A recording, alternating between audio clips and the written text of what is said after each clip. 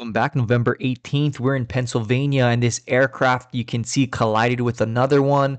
So, this aircraft was parked, and then this aircraft was doing a go around. Firefighters are on scene. There was three on board, two had some injuries. You can think they were aborting a landing, trying to do a go around, probably accelerating into that go around.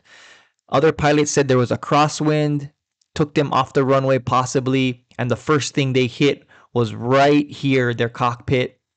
There was some um, some bleeding and injuries from f- what firefighters found. You can imagine there was some shrapnel and different pieces here.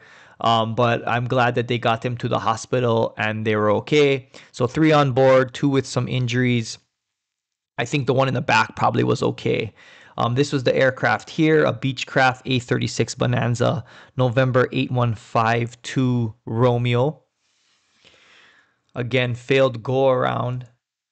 Here's the other aircraft, a Cessna 310. This one was parked November 1105 Quebec, from what it looks like.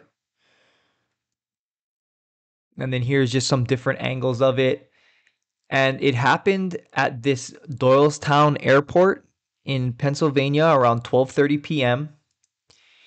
Here's the airport here. So they were coming in this way, I believe, trying to land uh, they aborted and tried to do a go around and ended up here next to these hangars is where they kind of ended up. So here's back to the scene. Here's the approach end of runway five. So came in this way and then hit the parked aircraft there. Here is the FlightAware.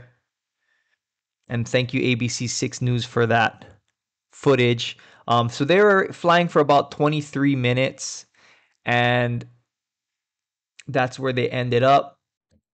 So if you want to see another aircraft that did an aborted takeoff, I have it from inside the cab. You can watch it here. I'll post it in this end screen. Um, but other than that, glad everybody was okay. So Alfredo Keone will see you guys next time.